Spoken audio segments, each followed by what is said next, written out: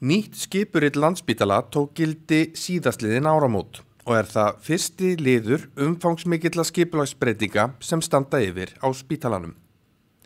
Markmiðið er meðal annars að ná fram umbótum í þjónustu og rekstri spítalans, einfalda miðlega stjórnsýslu, auka samhafingu og styrkja liðsild starfsfólks. Framkvæmdastjórum fjölgaður raunar úr 8 í 11 en uh, störf tíu fórstöðum hann að voru lögð niður.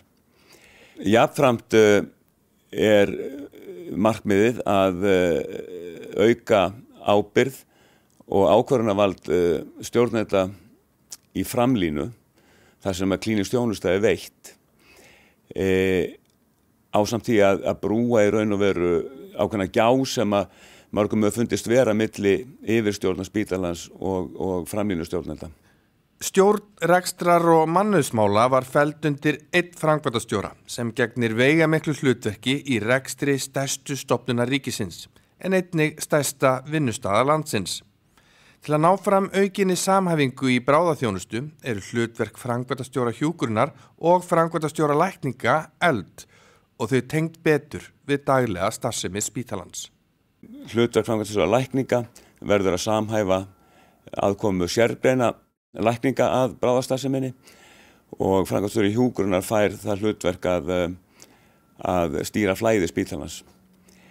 E, jafnframt verður lögð áhersla á leiðtóa hlutverk e, þessara framkvæmtastjóra e, fyrir hans sinna stóru fagstjætta. Þá eru skurrlækningar og skurrstofu starfsemi nú saminuð á einu sviði til að samhæfa skurrþjónustu og hjarta- og æðaþjónusta og krabbamennsþjónusta sett saman á eitt svið. Einn nýjung í, í Frankvæmstjóð spítalans er, er Frankvæmstjóri þróunar og eh, er eitt af, eitt af markmiðum þessar hlutverks er að ebla uppbyggingu stafvæðingar og, og, og, og nýtingar gagna við stýringu spítalans og á þróunarsviði erum við með einingar sem tilheyra þróunda og gungudeldarþjónustu sem snýr meira að eh, samstarfi við ytri heilbyrjastofnanir og verklægi.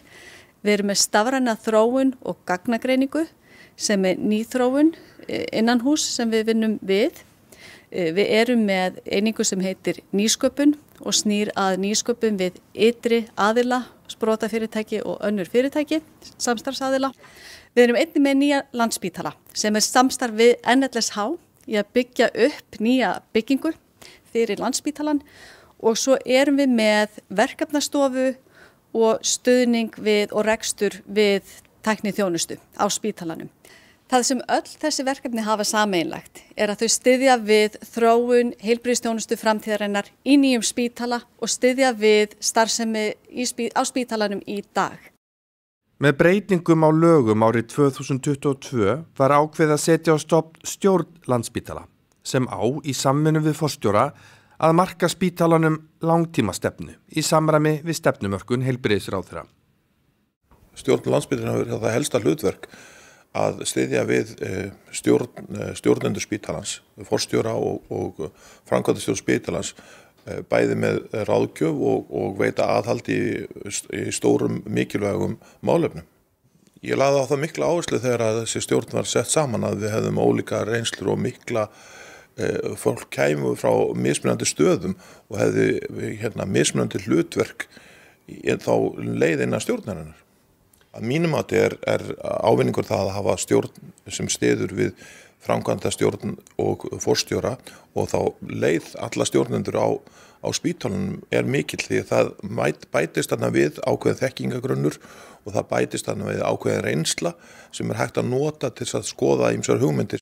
Eh, Skipuriti sem tók gildi um síðustu áramót er raunar fyrsti áfangin í veigameklum skipularsbreytingum sem að ég tel þurfa að gera hér á spítalanum.